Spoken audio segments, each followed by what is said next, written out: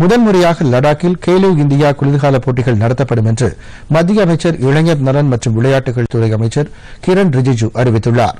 இம்மாதம் மூன்றாவது வாரத்தில் இந்த போட்டிகள் நடத்தப்படும் என்றும் அடுத்த மாதம் முதல் வாரத்தில் இதுபோன்ற போட்டிகள் ஜம்மு காஷ்மீரில் நடத்தப்படும் என்றும் அவர் தெரிவித்தார். லடாக்கில் நடைபெறும் போட்டிகளில் ஐஸ் ஹாக்கி சாம்பியன் போட்டி பனிச்சறுக்கு விளையாட்டு போன்றவை இடம்பெறும் என்று அவர் கூறினார்.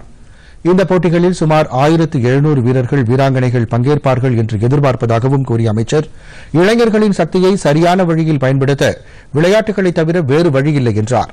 விளையாட்டுகள் என்பவை இளைஞர்கள் தங்களின் திறனை வெளிப்படுத்துவது மட்டுமின்றி நாட்டின் பல்வேறு பகுதிகளிலும் நடைபெறும் போட்டிகளில் பங்கேற்பதன் மூலம் வளமான கலாச்சாரத்தையும் இயற்கை அழகையும் அவர்கள் அறிந்து கொள்ள உதவும் என்றும் அமைச்சர் கூறினார்.